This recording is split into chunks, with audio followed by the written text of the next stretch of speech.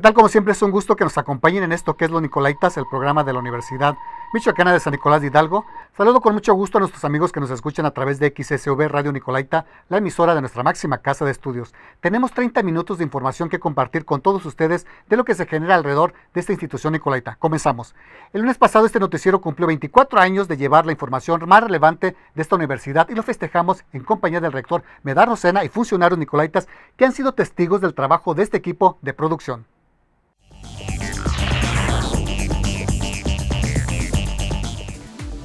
En un emotivo acto, el equipo de producción del programa televisivo Los Nicolaitas, acompañados por autoridades universitarias como el rector de la Universidad Michoacana de San Nicolás de Hidalgo, Medar Rosena González, así como el secretario general Salvador García Espinosa, y ante la presencia de funcionarios de la máxima casa de estudios, conmemoraron el aniversario número 24 del espacio noticioso. Por más de dos décadas se ha cumplido con la tarea de llevar la información a la comunidad universitaria y a la sociedad en general respecto al quehacer que tiene la Universidad Michoacana en cada uno de sus rubros, la investigación, la academia, la ciencia, la tecnología, el deporte y la cultura. Objetivos planteados en los inicios de la transmisión, ello se pudo percibir a través de un video exhibido a los invitados, con la finalidad de mostrarles la evolución que el programa ha tenido a través de diversas épocas por las que ha atravesado, pasando de un formato analógico a digital y ahora atendiendo la necesidad de nuestro tiempo, en donde las redes sociales juegan un papel importante en la divulgación de la información. Reto asumido en su momento por quienes han desfilado por la producción de Los Nicolaitas. Un trabajo en equipo que durante 24 años ha logrado sobrevivir pese a las limitaciones que en ocasiones se presentan, las cuales no han servido sino para optimizar el trabajo y la creatividad plasmada en cada una de las emisiones que cada semana se ven reflejadas en la televisión, radio e internet. Al hacer uso de la palabra, el doctor Rodrigo Pardo Fernández, director de Radio y Televisión Nicolaita, reconoció el trabajo que por parte del equipo de producción se realiza, al asumir el compromiso de informar como una prioridad. Son 24 años, dijo, de ir en contracorriente en algunas ocasiones y cambios inesperados, pero que al final han servido para madurar un proyecto que a la fecha sigue vigente y sobre todo dispuesto a asumir los nuevos retos que vienen en comunicación para nuestra máxima casa de estudios. En su momento, Medar Sena González, rector Nicolaita, habló del equipamiento del programa Los Nicolaitas, la ampliación de Radio Nicolaita y la colocación de dos megapantallas en Ciudad Universitaria, las cuales servirán como un vínculo informativo. Proyecto dijo que ampliarían los horizontes de la máxima casa de estudios del Estado como una fuente de importantes sucesos que deben darse a conocer.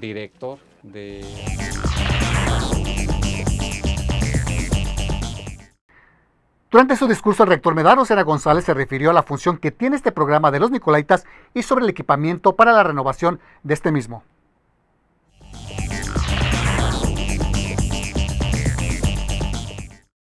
Nos llenan de orgullo con el trabajo que realizan de manera continua ya por 24 años. Es un aniversario más que también va a ir marcando un parteaguas para la Casa de Hidalgo en materia de comunicación. Quiero comentar que he di la instrucción en semanas pasadas, sabiendo de que tenemos aquí algunas restricciones, sobre todo de equipo, para que a la brevedad posible contemos aquí con una cámara de avanzada, con los micrófonos correspondientes, la iluminación y también el equipo de cómputo para la edición. Eso ya es una realidad, ya es eh, un material que con fondos extraordinarios se consiguió, se licitó y está por llegar a la Casa de Hidalgo. Vamos muy de la mano también con Radio Nicolaita. En Radio Nicolaita eh, hicimos una ampliación que en cuestión de días vamos a estar inaugurando, porque sabemos de la importancia que tiene la comunicación, el que la Universidad Michoacana eh, fortalezca sus equipos, les dé las mejores condiciones para que en materia de comunicación tengamos una mejor vinculación con la sociedad michoacana a la que nos debemos.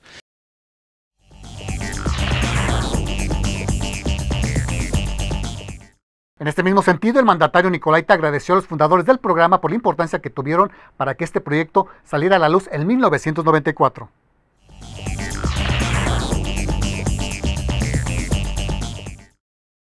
Hay que reconocer a quienes ya no están aquí con nosotros por haberse jubilado, por haber cumplido su ciclo en la Casa de Hidalgo, quienes iniciaron este importante proyecto seguramente nos van a ver decirles que les agradecemos por ese proyecto que hace 24 años vio la luz por primera ocasión y que estamos tratando de ser dignos de ese esfuerzo que nos tiene aquí reunidos, que se sientan orgullosos, que se sientan satisfechos del trabajo que en su momento realizaron. Y muchas felicitaciones.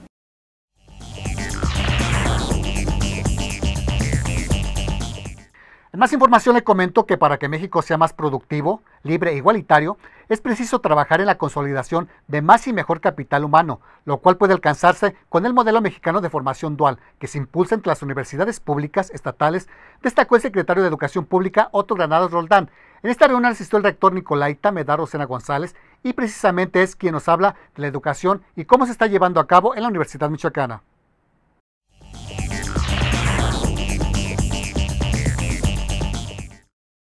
Es muy importante alinear los perfiles de egreso, las habilidades de nuestros egresados con las necesidades del mundo laboral. Y para ello estamos avanzando todas las universidades, todas las instituciones de educación superior, para que de la mejor manera posible nos articulemos con el mundo laboral y que la teoría se lleve en las aulas universitarias y la práctica en las empresas. Ese es prácticamente el punto medular de la formación eh, dual, que los estudiantes se estén enfrentando desde su formación al mundo real, se estén enfrentando a casos de estudio prácticos reales y a un mundo laboral exigente, muy dinámico, y la universidad va a seguir eh, eh, fortaleciendo su modelo de formación dual ya lo tenemos en todas las ingenierías, en las ciencias exactas, en las ciencias de la salud eh, tenemos una gran experiencia en ese sentido y lo vamos a seguir fortaleciendo.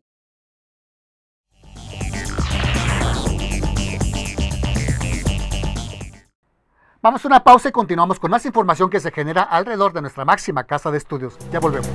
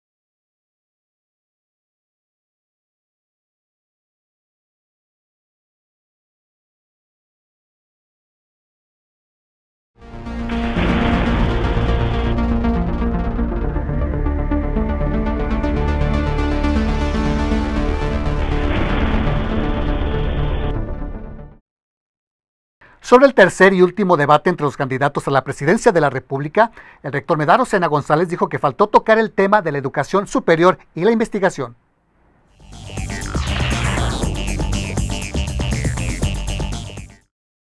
Esa parte me hubiera gustado escucharla. ¿Qué vamos a hacer en materia de cobertura de educación superior con calidad, con pertinencia, donde se requiere necesariamente invertir más recursos? Porque la educación superior no es un gasto, es una inversión y donde también eh, se requiere aprovechar la experiencia bien ganada de las universidades públicas estatales.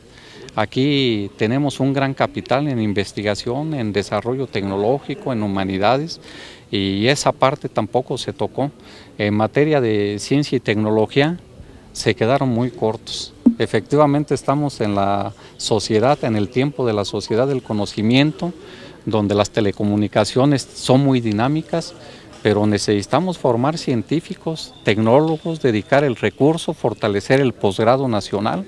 hasta este momento se ha fortalecido por el esfuerzo únicamente de las universidades públicas y esa parte también se omitió lamentablemente.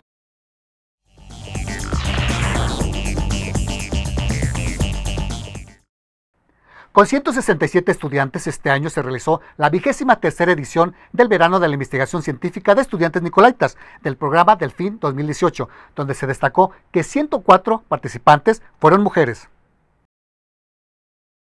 El Instituto de Investigaciones Agropecuarias y Forestales, así como la Facultad de Medicina Veterinaria y Zootecnia, organizaron la 45 reunión científica para la Asociación Mexicana para la Producción Animal. Por otra parte, les comento que se abrió la Oficina de Defensoría de Derechos Humanos Universitarios aquí en Ciudad Universitaria.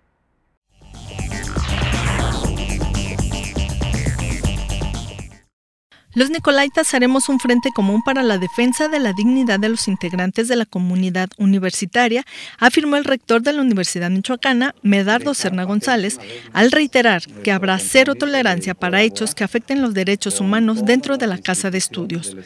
Durante la inauguración de la oficina de la Defensoría de los Derechos Humanos Universitarios Nicolaitas, ubicadas en Ciudad Universitaria, Serna González indicó que la misma deberá operar de manera transversal con el programa de responsabilidad social Social Universitaria y la Red de Equidad de Género, en compañía de Víctor Cerrato Lozano, presidente de la Comisión Estatal de Derechos Humanos y por el titular de la Defensoría Jesús Santillán Gutiérrez, el rector dijo que las autoridades universitarias trabajan por una comunidad universitaria con un comportamiento ejemplar en materia no solo de difusión de los derechos, sino también del respeto y la sanción a quien atente contra los mismos. Víctor Serrato Lozano externó su beneplácito por la apertura de este espacio, cuyas funciones estarán ligadas al trabajo que desempeña la Comisión Estatal de Derechos Humanos a su cargo. Esta oficina será un aliado de primer orden para la Comisión para promover, procurar y defender los derechos humanos entre la comunidad universitaria. Durante su mensaje de bienvenida, el titular de la Defensoría, Jesús Santillán Gutiérrez, invitó a todos los nicolaitas a acercarse a esta oficina, en donde con toda confidencialidad e independencia recibirán atención y orientación, así como podrán presentar denuncias en cualquier evento como en el que están faltando a los derechos que como universitarios e individuos deben ser respetados.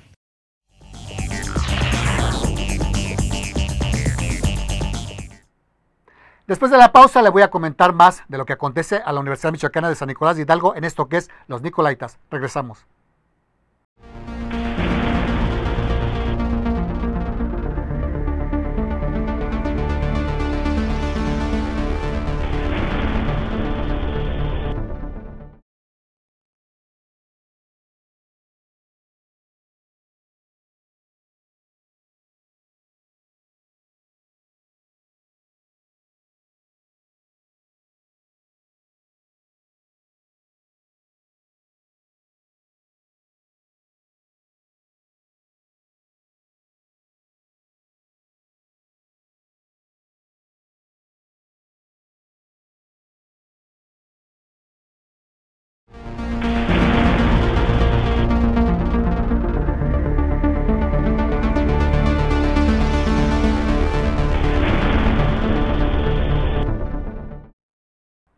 La Facultad de Biología cuenta desde esta semana con un edificio diseñado especialmente para dar espacio al herbario, en donde se instaló la bomba de calor, una de las siete que se encuentran en México y se produce a partir de energías renovables.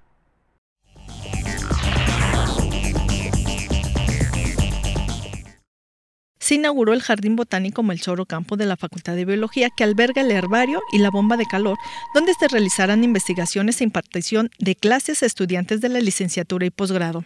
El compromiso con la conservación es uno de los ejes con lo que se instauró el herbario Nicolaita, el cual dará un paso importante para el desarrollo de la Facultad de Biología. Así lo dijo el director Juan Manuel Ortega Rodríguez durante el evento. Al hacer uso de la voz, el rector Nicolaita Medardo Serna González dijo a los presentes que en el área biológica se trabaja para ir creciendo, clasificando y cuidando nuestra biodiversidad, la cual es uno de los patrimonios más importantes que debemos cuidar, y la Universidad Michoacana tiene el compromiso de mantener los equilibrios a través del conocimiento.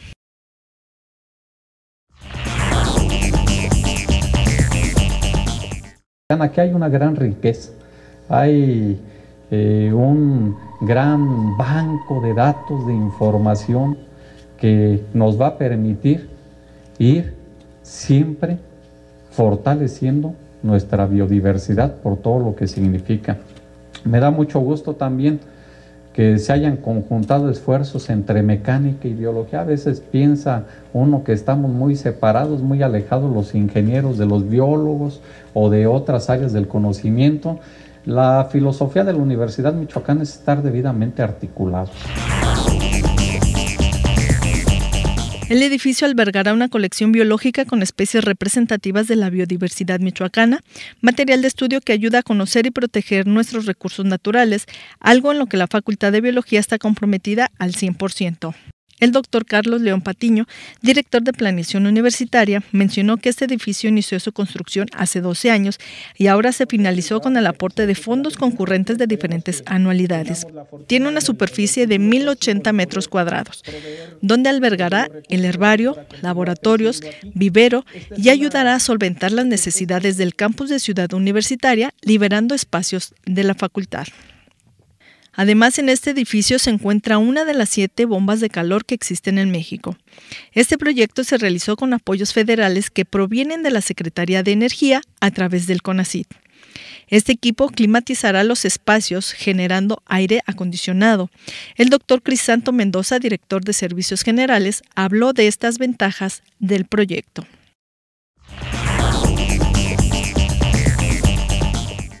El calor que se retira del espacio que se acondiciona se suministra subsuelo.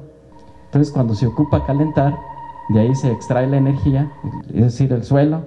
El subsuelo se utiliza como sumidero este, o fuente de calor. Cuando se ocupa refrigerar, va hacia allá, o si se ocupa calor, va hacia acá. Entonces se va, digamos, de alguna manera, de alguna manera estabilizando la temperatura del espacio.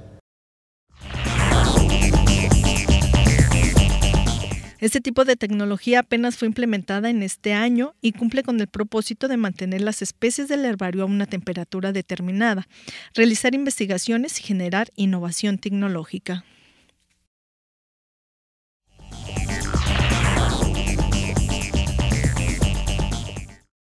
Les comento que la Facultad de Derecho y Ciencias Sociales organizó un foro donde se planteó la necesidad de fortalecer los órganos del sistema anticorrupción.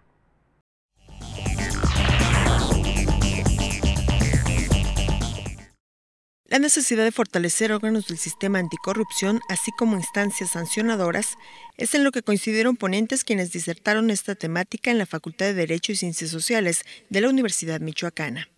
Y es que este fenómeno se ha convertido en parte de la cultura mexicana, señalaron los especialistas, por lo que aseguraron que los retos para erradicarla aún son muchos. Así lo manifestaron al participar en el primer foro en torno a la problemática del sistema estatal anticorrupción.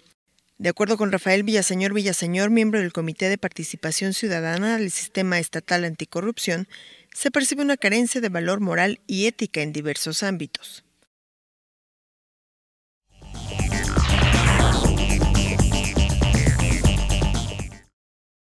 La cultura de esa persona, la ética que tiene. En el servicio público la corrupción, este, si bien se ha visto identificado que tiene es un mayor eh, empoderamiento, registramiento, más, más empoderamiento, no solamente es exclusivo del servicio público. La corrupción viene de ambas partes, de lo que llamamos el sector privado y el sector público. Sin una no existe la otra. Entonces tenemos que empezar a vigilar y a trabajar en ambos sectores. Y especialmente aquellos que tienen una relación con el, con el sector público, como lo es en contrataciones públicas.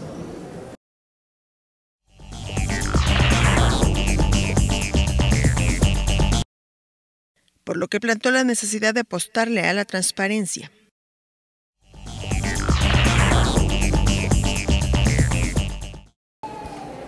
Aún nos siguen tratando algunos, algunos ciudadanos como chicos, como, como niños chicos, de que no podemos este, conocer la realidad o que esta realidad nos va a abrumar algunos bajo el tema de seguridad nacional no podemos saber algún tema de contrataciones públicas. Entonces, la verdad es que tenemos que impulsar la transparencia, tenemos que impulsar las modificaciones a esta ley y de obras públicas para empezar a cerrar ciertas brechas en el tema de corrupción.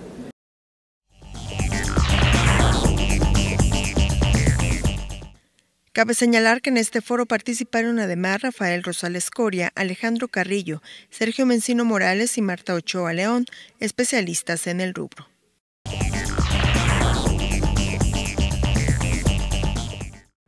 En más informaciones comento que iniciativa de estudiantes de la Facultad de Filosofía se realizó por segunda ocasión la Feria Interactiva de la Mujer, donde a través de conferencias, charlas y juegos pudieron mostrar el quehacer de la mujer en la sociedad y darle voz, así como respeto a sus derechos humanos.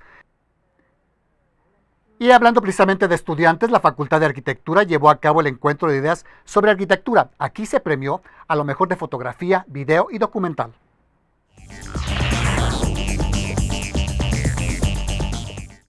Más de 250 trabajos de video y fotografía fueron sometidos a concurso entre los estudiantes de la Facultad de Arquitectura de la Universidad Michoacana.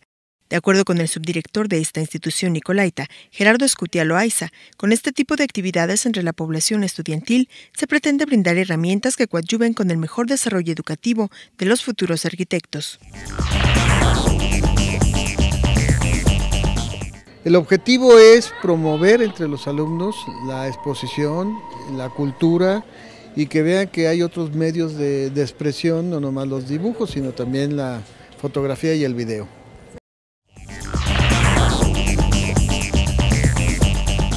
Los trabajos, mismos que fueron expuestos en el auditorio de la facultad, fueron evaluados por un jurado externo especializado en el área de la comunicación, quienes calificaron, entre otros rubros, la calidad técnica y estética, coherencia con la temática planteada, originalidad y composición. Aunque se trata de la primera ocasión en que realizan este tipo de concurso, se espera darle continuidad a fin de impulsar la creatividad de los alumnos de este centro educativo.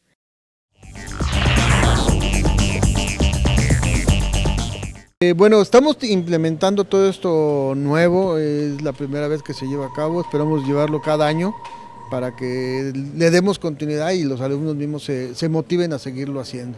¿De qué les sirve este tipo de actividades a los estudiantes en su carrera?